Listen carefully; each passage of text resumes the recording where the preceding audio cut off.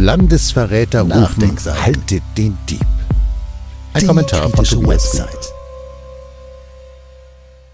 In der aktuellen Debatte um mutmaßliche China-Spionage durch AfD-Personal ist eine weitere Verrohung zu beobachten. Politische Konkurrenten als Verräter zu bezeichnen, ist abzulehnen. Es kann außerdem als Ablenkungsversuch vom eigenen Verrat an den Interessen der Bürger bezeichnet werden. Die nun praktizierte Verrohung kann sich auch irgendwann gegen die Initiatoren der sprachlichen Tabubrüche wenden. Wie manche Begriffe umgedeutet werden, kann aktuell angesichts der Debatte um mutmaßliche Spionage für China durch AfD-Personal beobachtet werden. Wer Vokabeln wie Volksverräter benutzt, um den politischen Gegner zu beschädigen, der wurde früher eher einem rechtsextremen Lager zugeordnet. Das gleiche gilt für Wörter wie Kriegstüchtigkeit oder Verächter des Staates. Auch wer forderte, dass Russland niedergerungen gehöre, wurde früher eher als rechtsradikal denn als staatstragend betrachtet. Heute gehört all das zum Vokabular sogar von Unterstützern der Bundesregierung. Ich lehne die Nutzung des Begriffs Verräter im politischen Zusammenhang als polarisierend und verrohend ab. Aber da er nun schon fast als offiziell eingeführt wird, komme ich in diesem Text nicht darum herum. Auf die konkreten Fälle mutmaßlicher Spionage etwa für China soll hier nicht eingegangen werden. Für eine sinnvolle Beurteilung der Fälle bleibt noch abzuwarten, wie gravierend das Ganze ist. Hier geht es nur um die sprachliche Ebene der Reaktionen.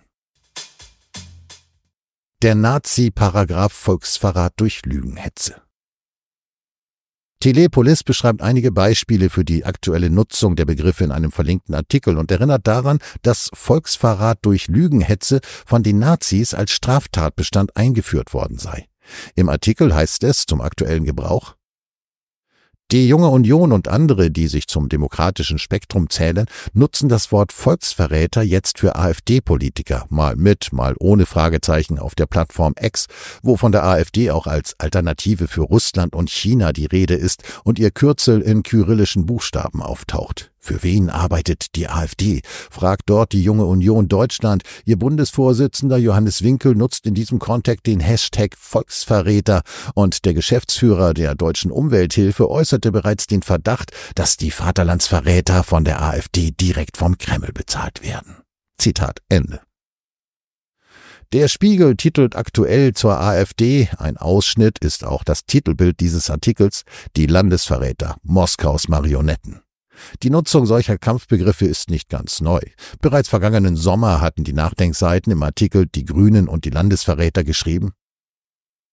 Die Wortwahl Hofreiters und die Gedankenspiele um Parteiverbote stellen eine weitere verbale Eskalation dar. Dieser Eskalation haftet aber auch etwas Verzweifeltes an. Dem Erkenntnisprozess vieler Bürger bezüglich der realen Auswirkungen grüner Politik jenseits der Phrasen müssen immer stärkere sprachliche Geschütze entgegengestellt werden. Und weiter? Der Gebrauch des Begriffs Landesverräter könnte für die Grünen auch gefährlich werden. Wenn sie den Begriff durch die eigene Nutzung selber auf die Stufe eines legitimen Ausdrucks im Meinungskampf einführen, dann kann das Wort auch an den Grünen hängen bleiben. Vielleicht haben manche Kritiker der Grünen bisher gezögert, den harten Ausdruck vom Landesverräter gegen den politischen Gegner zu nutzen. Nun gibt ihnen Hofreiter indirekt die Erlaubnis. Zitat Ende.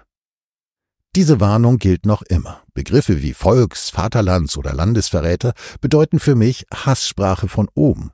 Ihre Nutzung kann auch nicht durch den Verweis auf den ebenso abzulehnenden Gebrauch durch andere rechte Gruppen gerechtfertigt werden.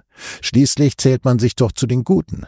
Aber die Begriffe sind nicht nur polarisierend und verrohend, sie können auch gefährlich für jene Politiker und Journalisten werden, die sie nun nutzen. Denn die teils radikale Politik der Bundesregierung bezüglich Ukraine-Krieg, russischer Energie, Aufrüstung und daraus folgender Kriegsgefahr und Verarmung kann durchaus als ein Verrat an den Interessen der Bürger hierzulande zugunsten von US-Interessen interpretiert werden, wenn man sich schon eines solchen Vokabulars bedienen möchte. Außenministerin Baerbock hat diese Haltung schön offen illustriert, als sie sagte, egal was meine deutschen Wähler denken, wir stehen zur Ukraine.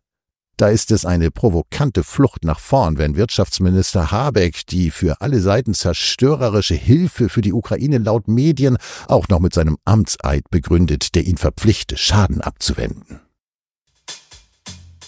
Haltet den Dieb!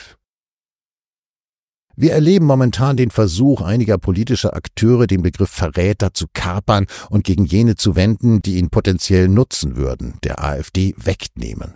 Zusätzlich wird mit der Nutzung Haltet den Dieb gerufen und vom eigenen Verrat abgelenkt. Das ist, wie gesagt, nicht ohne Risiko, denn wenn man mit Kampfbegriffen wie Volksverräter selber die Kommunikation verroht, dann kann man auch Opfer dieser Verrohung werden. Die Methode Haltet den Dieb hat momentan auch auf anderen Ebenen Konjunktur. Vor allem Wirtschafts- und Außenministerium beklagen regelmäßig Entwicklungen, die sie selber forciert haben und stellen sie als höhere Gewalten dar, denen sie sich tapfer entgegenstellen müssen. Dass die AfD für mich keine politische Alternative darstellt, habe ich oft geschrieben. Der Vorgang um die mutmaßlichen Spionagefälle und der große mediale Aufwand können aber doch den Eindruck einer Kampagne gegen einen politischen Konkurrenten erwecken. Das wäre prinzipiell abzulehnen. Ich wage zu bezweifeln, dass die mutmaßlichen Spionagefälle solche Aufmerksamkeit erfahren würden, wenn wir uns nicht kurz vor einigen Wahlen befinden würden. Es schwingt noch eine weitere Ablenkung in der politischen Nutzung des Begriffs Verräter und der Darstellung der AfD als von ausländischen Mächten gesteuert mit. Durch diesen Kunstgriff kann das Symptom AfD von ihrer Ursache getrennt werden, denn der Erfolg der AfD liegt selbstverständlich zuerst in der Politik der letzten Regierungen begründet und nicht in Geldzahlungen aus Peking. Doch Symptom und Ursache werden in der AfD-Debatte ja von jeher möglichst scharf getrennt. Die Debatte um Einmischung steht auf dem Kopf. Dass Deutschland sich vor ausländischer Einmischung schützen sollte, finde ich selbstverständlich. Allerdings ist die Gewichtung in der Debatte darüber auf den Kopf gestellt. Während wir täglich vor den Gefahren der Desinformation durch autokratische Systeme gewarnt werden, fällt die mutmaßliche massive Spionage und die politische Einmischung durch private und staatliche US-Interessen, die Bürger hierzulande weit mehr betreffen, weitgehend unter den Tisch.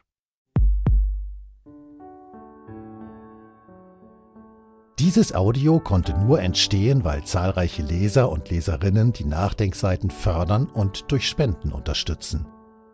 Wenn Sie auch etwas tun wollen, klicken Sie einfach den entsprechenden Button auf unserer Website an. Übrigens, Sie können uns auch bei iTunes, SoundCloud und YouTube hören und wenn Sie mögen, gerne unseren Kanal abonnieren und eine positive Bewertung für uns abgeben. Wir freuen uns über Ihre Unterstützung und die Weiterverbreitung unserer Inhalte.